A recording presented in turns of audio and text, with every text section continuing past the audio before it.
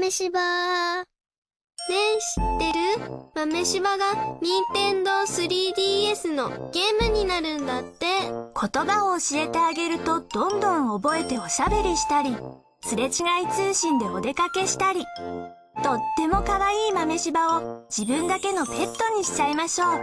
任天堂 t e n d 3DS ソフト豆柴は10月27日発売なんだって。